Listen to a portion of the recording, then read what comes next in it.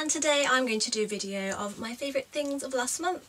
I picked around 10 items and there's some hair stuff, makeup stuff and bits and bobs but um, thought I would try doing one of these videos and please let me know your thoughts on if you want to see more of these kind of things. Let's start off with hair things. I have shot some closer um, video of this which I I'm sure we'll start playing now, um, just so you can see the items clearer.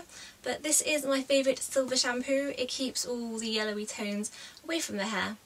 Um, and also um, for these extensions, these are different to ones I usually wear. These are just some cheap ones I got off eBay and they were a light blonde colour. And I got away like the yellowy tones because this was shade lightest blonde, so it was quite yellowy. Um, and with this I managed to get the yellowy tones out and it's quite a nice platinum blonde colour instead. So I did it with this.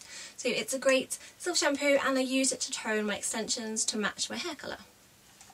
This stuff is a lifesaver from having my hair bleached, my ends, I'm just not very happy. So I squirt this on my hands and then rub it through and then just put from my mids to my ends and I make sure I definitely get this on my ends. I kind of run it over my hair till the ends feel really really soft. Um, don't use too much because it can make your hair greasy. But this stuff is amazing. After I wash my hair every time on damp hair, I run it through. Then I use um, like a heat protector spray, blow dry my hair, and then when I straighten it, my hair is amazing because of this stuff. And I've done my hair without it, and it's it's it's not happy. I bought that product almost a year ago and I've still got some left. It's really good and it was only £8-ish on Amazon but um, I will put links below where I bought these items so if you like any of these things then you can go buy them yourself. So that was hair things. Now on to my makeup favourites. This is my favourite foundation of all time.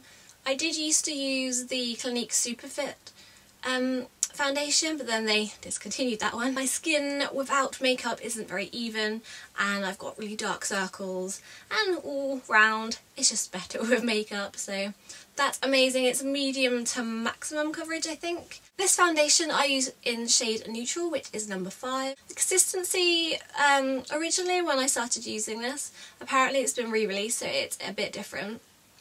But the consistency is feels quite thick but you only need a small amount and this lasts me ages. I hardly need to buy any of these in comparisons to powder. I literally go through powder.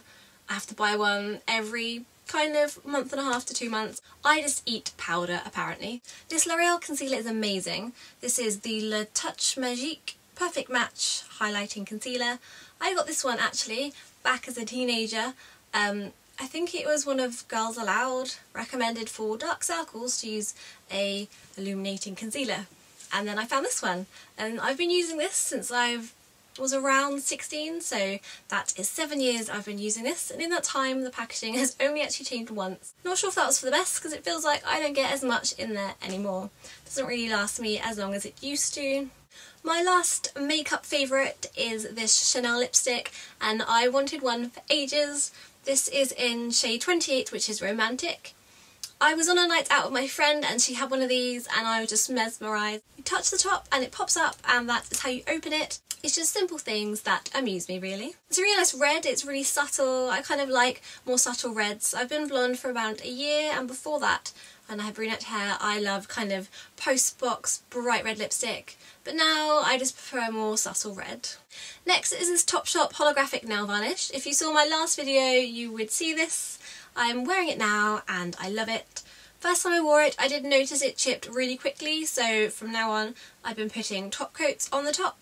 Um, I always put a base coat under my nails no matter what just in fear of it might stain my nails. That happened once and it looked horrible so ever since then I'm always putting a base clear coat under my nail varnish, the nail varnish. I did two to three coats to get a really nice even finish and the final result is lovely. I really love the whole pearlescent holographic look of this nail varnish.